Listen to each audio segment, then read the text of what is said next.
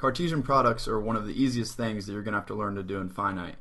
And all it really is is the cross product of two sets in ordered pairs. So take for example A times B. You would take the first element from A, which is A, match it with the first element B, which is X, and then repeat that process and match the first element A with the second element in B, which is Y. So that would have given you AX, AY.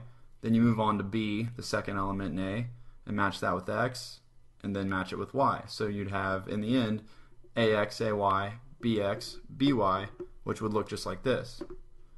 And this is correct because the only way you could have gotten this wrong is if you left out one of the ordered pairs, or if you put an element from b before you put an element from a.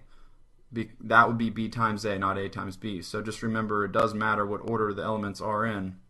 Not not the ordered pairs themselves; those could really be in any order but the elements within the ordered pairs have to be in order. So if you're doing A times B, each element from A goes first, and then the element from B goes second. And just make sure you include everything.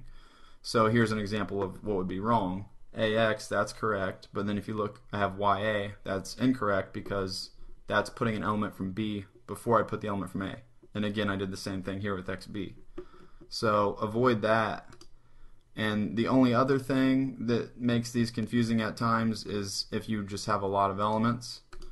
And in which case, if you have a larger set, it's useful to do this table layout. Well, on the left side here, I have uh, C, and then on the top, I have D. So all I've done is listed out the elements from C, A and B, and then on the top, I listed out all the elements from D, G, H, I, J, K, and L. And then now all I have to do is go through and match all these up in my table, which is just really quick. And you know you're not missing anything. And you know that you're keeping everything in order.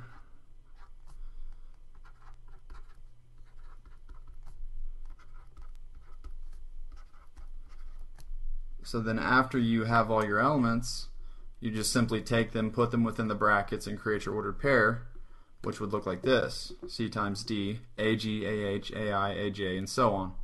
And I've included every single element. And that's basically all you need to know as far as Cartesian products go.